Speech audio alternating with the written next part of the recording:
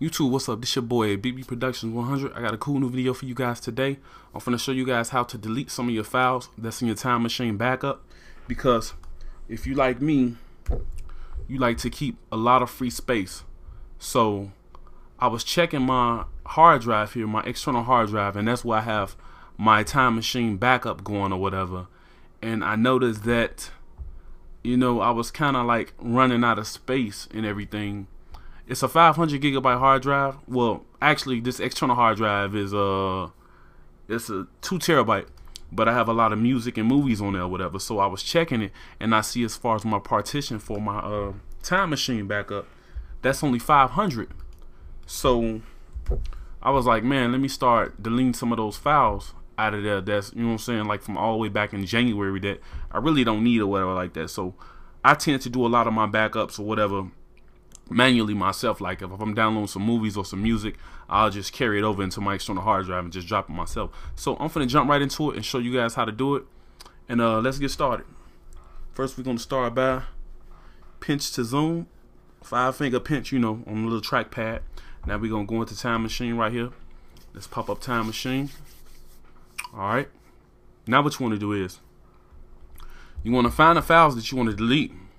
So we got yesterday, today, uh, July, June, May, and blah, blah, blah. So we're going to go to Thursday, 24th, 2011. Just find the files you want to delete. We really don't have nothing in there, so let's go to we're gonna do we're gonna do March. Okay, here we go. Cool. Here a couple of pictures I had when I was uh selling my speakers or whatever that was in my Cadillac. I sold my 12s and I had an old JVC television that I sold on eBay.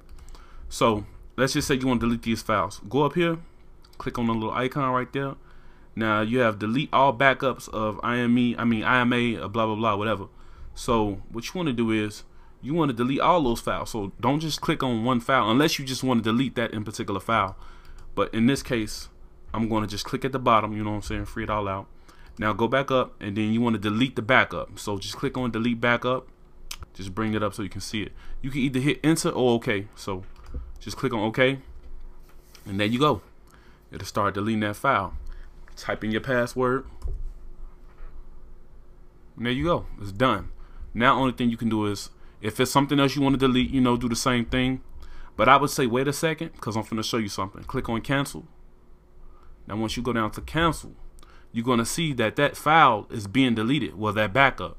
So you could have just deleted something else if you wanted to, but what would happen is you would have like five or six files that's being deleted all at the same time, and it would take quite a while. So just let that file or whatever you got that's a backup finish deleting and then do it again, the same process or whatever. So that's pretty much it. Now, this is being deleted, but I'm to go ahead and uh, X that out, whatever. Stop that because I don't want to delete that. So uh, like I said, that's pretty much it or whatever. I'm saying? Real cool because I was looking on YouTube and I didn't see nobody that put up any videos on how to delete files in your time machine backup. And if you like me, and you got a 500 gig or whatever you got, and you got all them files that's backed up, I mean, over time, it's going to be a lot of files, and you got to delete some of those files to make room for the new files. So, like I said, this your boy, BB Productions 100. I want to appreciate you guys for watching this video, taking your time out of your day or whatever. Please rate, comment, subscribe. Holla at you.